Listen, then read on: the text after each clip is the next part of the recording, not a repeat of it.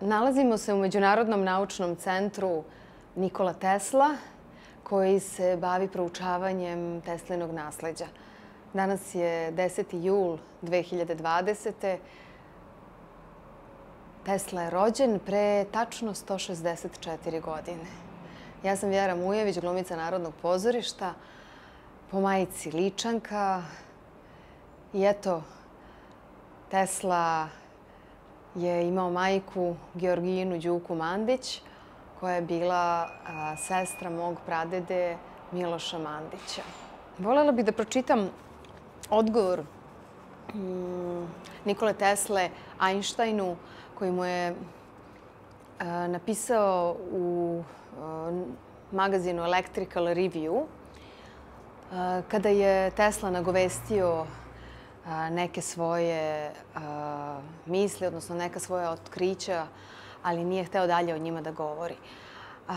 U stvari, to je jedna poruka svima da čovek treba da traži čuda, da traži, ide iza granica nemogućeg, jer samo tako dolazimo do velikih otkrića i prekoračujemo ovaj život. Evo sad ću vam pročitati odlomak iz tog pisma. Zamislite da ste se nekim slučajem našli nasred zaleđenog jezera, bespomoćni. Šta biste činili? Gledali biste da se što pre dokopate kopna. Ne bi vam palo na pamet da spas potražite u unutrašnjosti leda. Da vas je iz tog leda neko pozvao, da se pred vama pojavila glava nekog boga. Da vas je taj pozvao na čaj, Da li biste prihvatili taj poziv? Ne biste ni znali kako se zovete.